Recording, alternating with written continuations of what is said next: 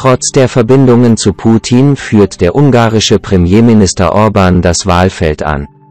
Budapest, Russlands Krieg in der Ukraine hat Ungarns Wahlkampf für den Moskau-freundlichen Ministerpräsidenten Viktor Orban auf den Kopf gestellt, nur nicht so, wie man denken könnte. Orbans enge Beziehung zu Präsident Wladimir Putin wurde erneut auf den Prüfstand gestellt, seit der revaschistische russische Führer beschloss, die Ukraine, Ungarns Nachbarn, anzugreifen.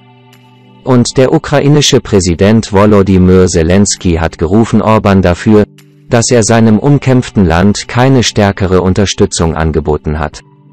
In vielen europäischen Ländern könnte die Haltung des Ministerpräsidenten das Ende einer politischen Karriere bedeuten.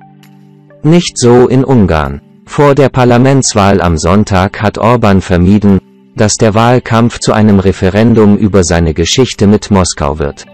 Mit Moskau wird. Stattdessen läuft seine Botschaft auf eine einfache Idee hinaus. Er wird Ungarn aus dem Krieg heraushalten, seine Gegner nicht. Es spielt keine Rolle, dass die ungarische Opposition nicht dafür plädiert, dass Ungarn Truppen in die Ukraine entsendet. Orban hat staatliche Ressourcen und eine freundliche Echokammer der Medien genutzt, um das Gegenteil zu suggerieren. Sein Team hat eine staatliche Coronavirus-E-Mail-Datenbank angezapft, um Gesprächsthemen zu verbreiten, und das Land mit vom Steuerzahler finanzierten Plakaten zugepflastert, auf denen verkündet wird, Lasst uns Frieden und Sicherheit in Ungarn bewahren. Neben Orbans Bild. Regierungsfreundliche Medien und Orbans eigener Außenminister werfen der Regierung in Kiew sogar vor, Positionsbündnis zu unterstützen. Umfragen deuten darauf hin, dass die Taktik aufgeht. Orban liegt in Bezug auf die Unterstützung der Bevölkerung an der Spitze. Ich bin vor dem Herrn nicht für die Menschen in der Ukraine verantwortlich, sondern für die Menschen in Ungarn, sagte der Premierminister am vergangenen Wochenende in einem Radiointerview. Die ungarische Politik, erklärte Orban, ist weder ukrainefreundlich noch russlandfreundlich. Sie ist ungarisch freundlich. Ein Orban-Sieg würde in der gesamten EU Resonanz finden. Während der Block in den ersten Wochen des Krieges mit Eifer und Solidarität reagierte, Sanktionen verhängte und Gelder für den Waffentransport in die Ukraine genehmigte, zeigen sich allmählich Risse, und Orban hat sich strikt gegen strengere Sanktionen gegen russische Energie gerichtet. Eine weitere Amtszeit von Orban würde die EU auch dazu zwingen, sich endlich einer heiklen Frage zu stellen, ob die Budgetmittel für Budapest wegen der Feststellungen demokratischer Rückschritte gekürzt werden sollen. Orbans Gegner haben darauf reagiert, indem sie ihre Bemühungen verdoppelt haben, die Beziehung des Premierministers zu Putin hervorzuheben. Der Krieg in der Ukraine und die russische Aggression haben vieles verändert, sagte Klara Dobrev, Mitglied der linksliberalen Demokratischen Koalition, die auf der Liste der vereinten Opposition als Kandidatin Nummer 2 kandidiert. Dobrev, ein Mitglied des Europäischen Parlaments, sagte gegenüber POLITICO, dass der Krieg das Gefühl der Unsicherheit unter den Ungarn verstärkt habe. Jetzt, sagte sie, komme es bei der Wahl am Sonntag auf die Wahl zwischen Orban oder Europa, das ist die Abstimmung, an. Eine andere Kampagne. Die Ungarn haben am Sonntag die Wahl zwischen Orbans rechtspopulistischer Fidesz-Partei, die seit zwölf Jahren an der Macht ist, und einem vielfältigen Bündnis aus sechs Oppositionsparteien und ihrem Kandidaten für das Amt des Ministerpräsidenten, dem konservativen Provinzbürgermeister Peter Markisey. Während sich die Kampagne zunächst auf Themen wie Korruption, die Wirtschaft und ein ebenfalls von der Regierung für dieses Wochenende geplantes Anti-LGBTQ-Plus-Referendum konzentrierte, änderte der Konflikt nebenan das Gespräch. Der Krieg hat einen Schatten auf den gesamten ungarischen Feldzug geworfen, sagte Orban in seinem Radiointerview.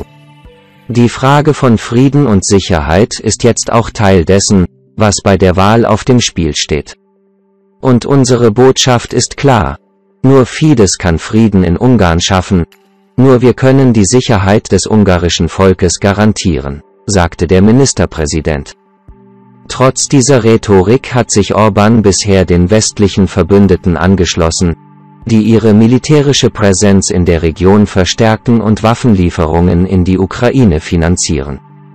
Budapest erlaubte der NATO, Truppen in Westungarn zu stationieren, und widersetzte sich nicht einem Schritt der EU, 500 Millionen Euro für Waffen und andere Hilfe für das ukrainische Militär bereitzustellen.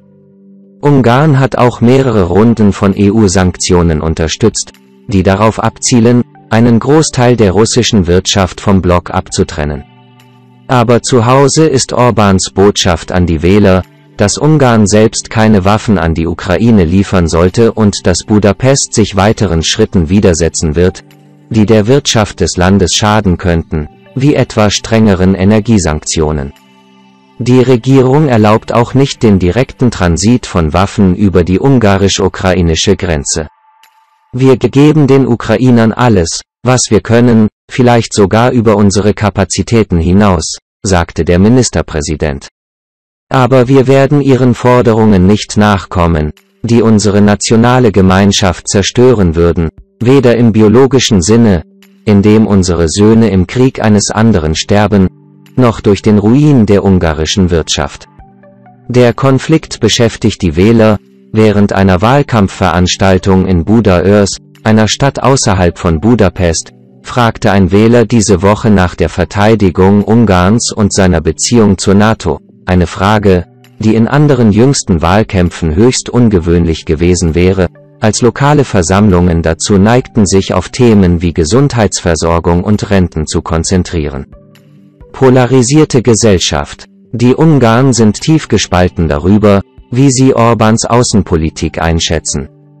Laut einer vom Publicus Institute Publicus Institute zwischen dem 7 und 11 März durchgeführten Umfrage sagen 64 Prozent der Ungarn, dass die Invasion der Ukraine eher eine Aggression als eine Verteidigung durch Moskau war.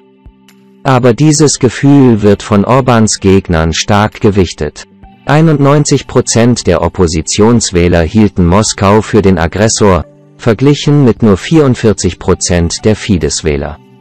Während 90 Prozent der Oppositionswähler sagten, Orban solle Russland härter für den Angriff auf die Ukraine verurteilen sagten laut der Umfrage nur 8% der Regierungsanhänger, der Premierminister solle seinen Ton eskalieren.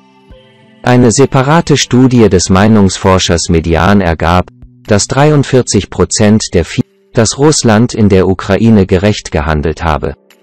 Experten argumentieren, dass die Unterstützung der Fidesz-Wähler für Orbans Politik, trotz eines Moskau-Besuchs im Februar, bei dem er mit seiner herzlichen Haltung gegenüber Putin prahlte, teilweise auf die strenge Kontrolle der Regierung über einen Großteil der Informationslandschaft zurückzuführen ist. Seit Wochen verbreiten staatliche und regierungsnahe Medien russische Narrative über den Krieg. Robert Laszlo, Analyst am Political Capital Institute in Budapest, nannte es das Medienimperium der Regierung. Orbans Anhänger, befinden sich in einer so massiven Meinungsblase, sagte er, dass es einfach egal ist, was er vor sechs Wochen oder vor drei Tagen gesagt hat. Es ist eine Blase, die durch Orbans Nutzung staatlicher Ressourcen verstärkt wird, wie die öffentlich finanzierten Plakate oder die E-Mail-Datenbank, die verwendet wird, um Menschen mit dieser Botschaft anzusprechen. Eine Orban-Regierung wird nicht zulassen, dass ungarische Familien den Preis des Krieges zahlen. Wortgefecht mit Kiew. Vor dem Krieg unterhielten Budapest und Kiew eine angespannte Beziehung und stritten sich um die Sprachrechte der in der Westukraine lebenden Ungarischsprachigen. Diese Spannungen traten in den letzten Tagen wieder in den Vordergrund, nachdem Zelensky Orban öffentlich tadelte und dem ungarischen Führer sagte, Sie müssen selbst entscheiden, mit wem Sie zusammen sind. Als Reaktion darauf entfesselten ungarische regierungsnahe Medien und Social-Media-Konten eine Flut persönlicher Angriffe gegen den ukrainischen Führer. Einige Orban unterstützende Medien beschuldigten sogar die Regierung in Kiew, Ungarns Opposition im Wahlkampf zu stärken, und stellten Zelensky als Marionette dar, die versucht, Budapest in den Krieg zu zwingen. Am Mittwoch nahmen die Spannungen zu, als der ungarische Außenminister Petr Szijjártó die ukrainische Regierung öffentlich beschuldigte, sich maßgeblich in die ungarischen Wahlen einzumischen. Der Minister behauptete ohne Beweise, die Opposition habe Kiew versprochen, sie werde der Ukraine Waffen liefern und weitere Energiesanktionen unterstützen, falls sie an die Macht käme. Dmytro Kuleba, Außenminister der Ukraine, wies die Behauptungen von Szijjártó zurück und erklärte, dass sich die Ukraine nicht in die inneren Angelegenheiten Ungarns einmische. Kuleba fügte dann einen spitzen Widerhaken hinzu. Wenn Szijjártó eine Auszeichnung, die er von Russland erhalten hat, wichtiger finde als sein Verhältnis zur Ukraine, solle er das einfach sagen. Der Plan der Opposition Markizei, die Kandidatin der Opposition für das Amt des Ministerpräsidenten, räumte ein, dass die Invasion Russlands zunächst einen sammelnden Effekt für Orban zu haben schien. Am Anfang, sagte er, haben wir gemerkt, dass die Menschen Sicherheit wollen und erwarten, dass Orban sie beschützen kann. Nun aber plädiert die Opposition dafür, dass Orban Ungarn nicht verteidigen könne. Nur die NATO kann Ungarn schützen, nicht Orban, sagte Markizei am Montag bei einem Wahlkampfstopp in der Stadt Solnok gegenüber POLITICO. Orban wollte immer Brüssel, die EU stoppen. Jetzt müssen wir alle Putin stoppen, um in Frieden zu leben. Der ungarische Minister Gergely Guljas, der als Stabschef von Orban fungiert, wehrte sich gegen die Kritik. Wir sind ein loyales Mitglied der Europäischen Union und der NATO, sagte Guljas am Dienstag gegenüber POLITICO und stellte fest, dass Budapest die russische Aggression verurteilt und Sanktionen unterstützt habe.